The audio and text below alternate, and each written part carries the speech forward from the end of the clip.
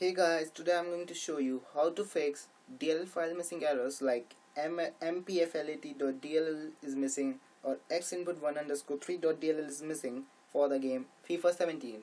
We have a universal solution for all the DLL file errors. It is the DLL file fixer. All you need to do is just follow the simple step listed below and you end up solving the error.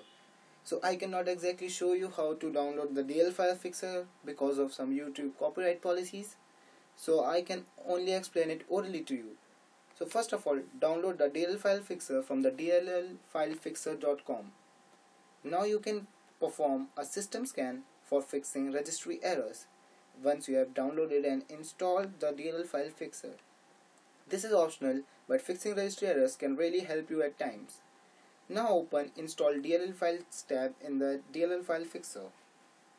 Now input the name of the DLL file in the Search tab the fixer will automatically install the file in the required location and you can get back to enjoy the game. That's it for this problem. For all the DLL file missing errors, this is a universal solution.